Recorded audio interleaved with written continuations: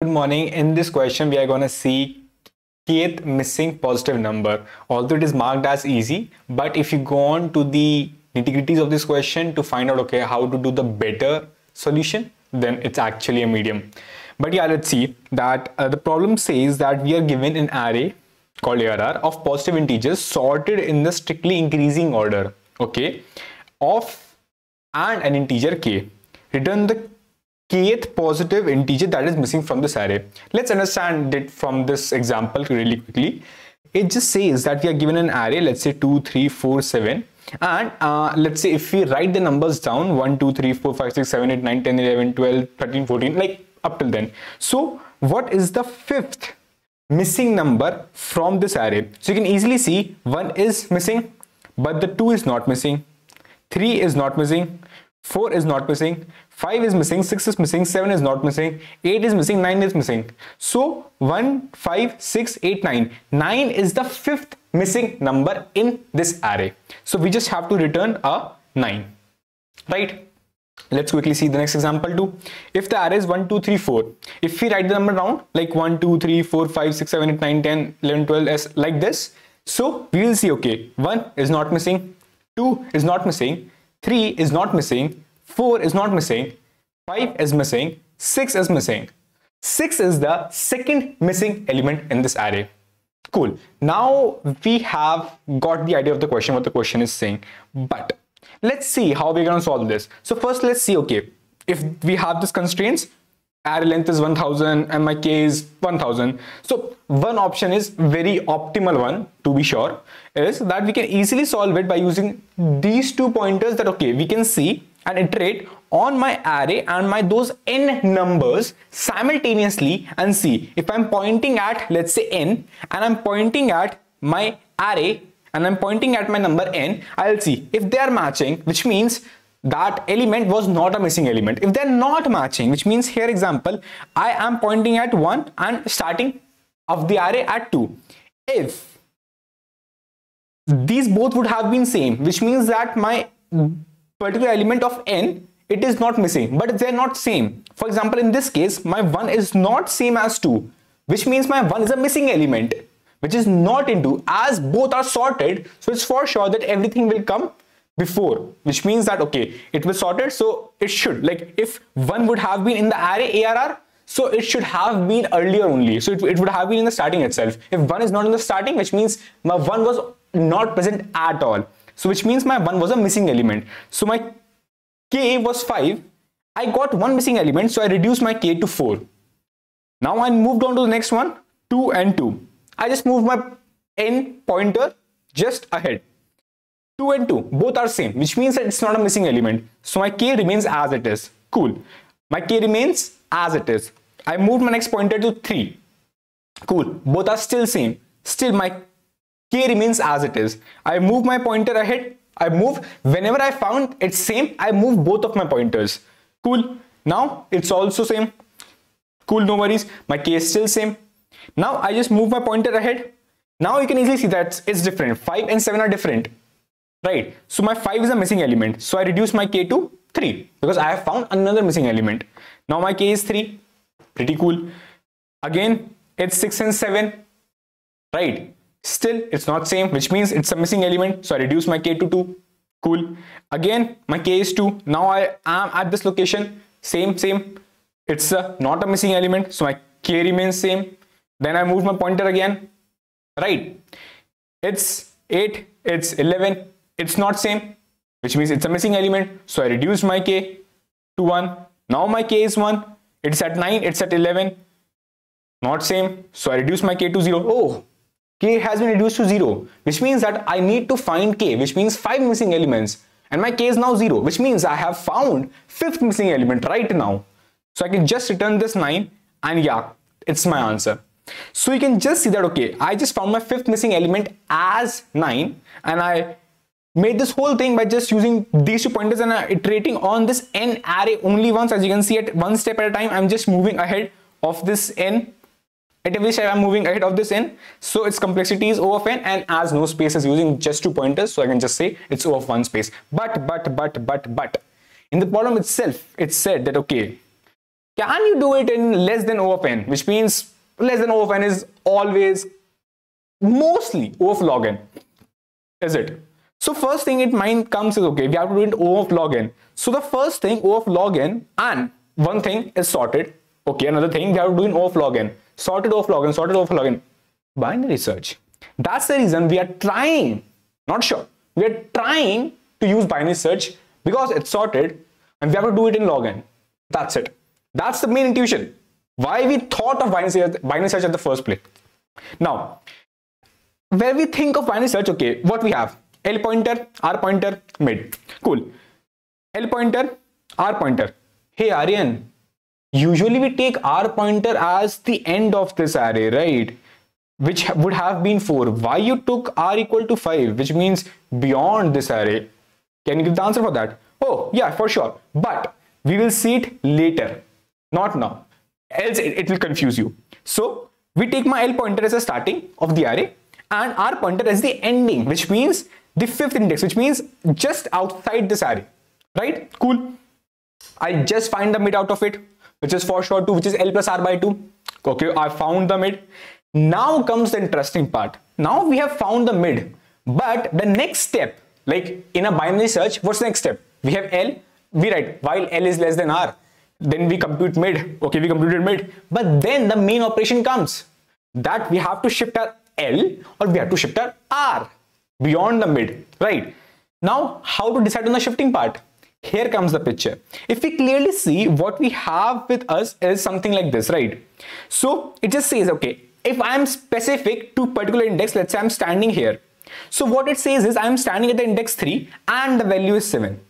What it says is that if I'm standing at 7 and the index is 3, which means that three elements have come before it, which means that it is the fourth element it is the fourth element.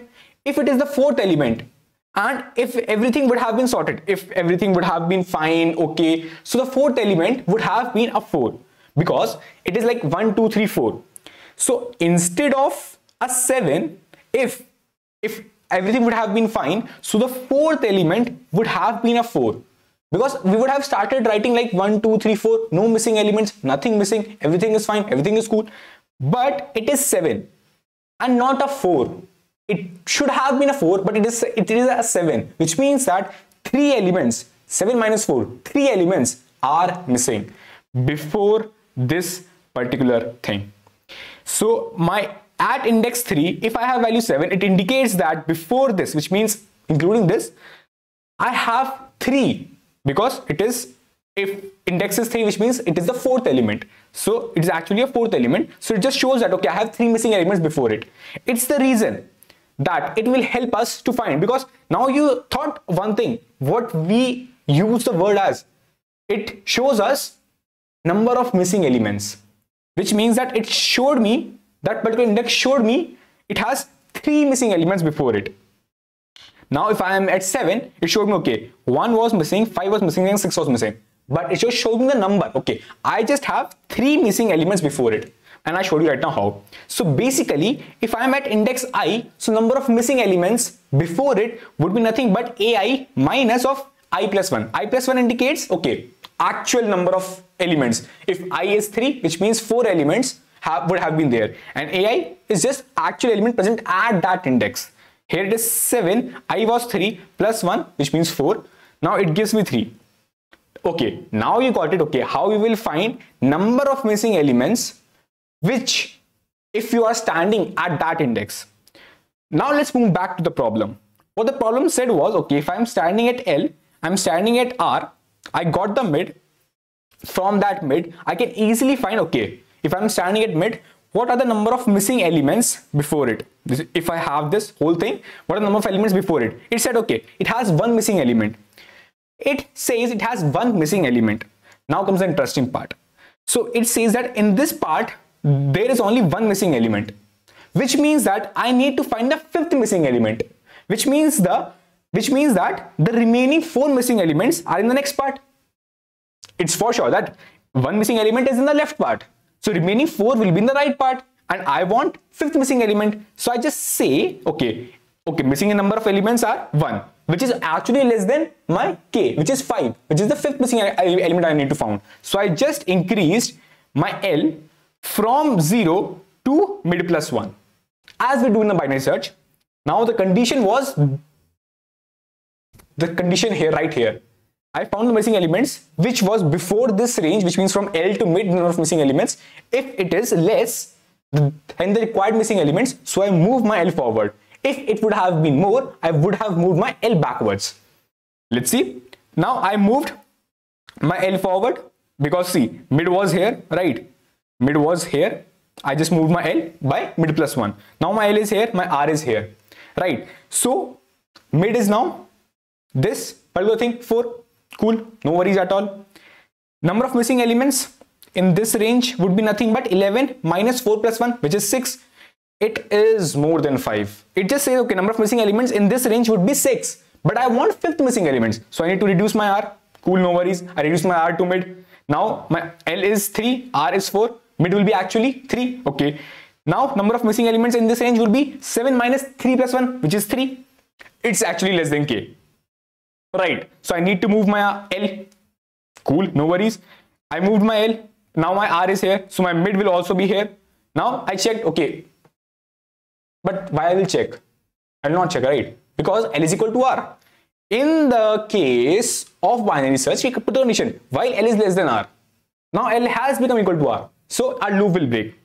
Now, now, now, now, now, one thing. I have reached to a condition, okay, my L is equal to R. Which means my L is pointing to 4 and the element is 11. Rn, what to do with it? What will I do with it? It just nothing says about the answer. How will you say? Okay, we got to a point where L is equal to R. We are at an index which is right here. We are at the index 4 and the element is 11. Now we will try to find what will be the kth missing element. How? Let's see. Here as you can clearly see that we landed finally after binary search completed at L equal to 4. Now let's take an example that we have to find our kth missing element, right? So let's imagine that element to be z. Now, hypothetically, what our answer says is, see, what was L? What was L? L was just the location of our hypothetical missing element. L was just the location of our hypothetical missing element. So L, if L was just the location of our hypothetical missing element, so it means that before that thing, four elements were present. These four were present. So, and how many number of elements we need to have? We have k missing elements. Four elements were present before it. My element would come after here. So basically, if let's say if I have the hypothetical element, which is the kth missing element, this L equal to 4 represents, okay, if the value is let's say z, so z would have been here. Now if z would have been here, so I can clearly say, okay, I have these four missing elements I have these four existing elements and how many number of missing elements were there? Five. So basically, if I just say, okay, it is one, two, three, and four. So basically after these five elements, I will have my number, which means I'll just have a z of four plus five. You understand why? It is because I just imagine, okay, my z is at the location right here, when where L equal to four, which means that the, pre the previous elements were existingly there so basically previous elements will for sure be there. And let's say it's not uh, a 2, 3, 4, 7. Let's say, let's say it's 1, 2, 3, 4 or just 4 elements. And I want 5 more elements to get to this location z. So the actual value of z will be nothing but 9 which is 4 plus 5. 4 is because it has 4 previous elements and 5 are actually the missing elements. So it get a 9 which is actually the location. See if I earlier it was 11 right if I replace it with 9, so basically 9 was the actual location. If 9 would have been the answer, it was the actual location of L equal to 4. So my L equal to 4 showed me, okay, what was the 9 location? And I know, okay, previously I had 4 elements and 5 elements were missing. So I just added a 5, so I got a 9. Thus, we got the 9 and thus we had the answer. Now you will see, okay, that we showed. But one thing we earlier said, okay, I will show you why we took my r as not n minus 1 but a n. It's because the missing element it can also lie outside the array see when we choose the bounds we choose the bounds such that l and r we choose the bounds such that it's whatsoever will happen will happen between these bounds right if l and r is l is 0 and r is n minus 1 so it will it, it says that okay everything will be inside the array. But our existing element or see the missing element it can be outside the array as well. It's the reason we took our r as n and not n minus 1 i hope that you guys understood the entire logic and entire concept behind it. Let me quickly show the code. It's very very very simple. It just says that okay while my l is less than r i just did a mid. The prime condition i just found the element. Index plus 1 if it shows the number of missing elements it shows the number of missing elements from l to mid if this is less than k, so I need to increase, increase my mid. If it is not, then I just bring my r to mid. And ultimately, as I showed you guys, that why we need to do a L plus R, L plus K, it's because I have four elements before it and the actual location of Z, which is actually after we know it's nine. So before, after that, we need to have five, add five new missing elements. Thus, I did a L plus K and and for sure my L and K both oh, L and R both are same. Ultimately it will lie at the same place. So yeah L plus K would be what is what we return. So the complexity will be O of log n and thus we reduce from n to O of log n. I hope that you guys liked it. If yes then do hit the like button. It motivates me a lot. And yeah see you guys next video then. Goodbye. Take care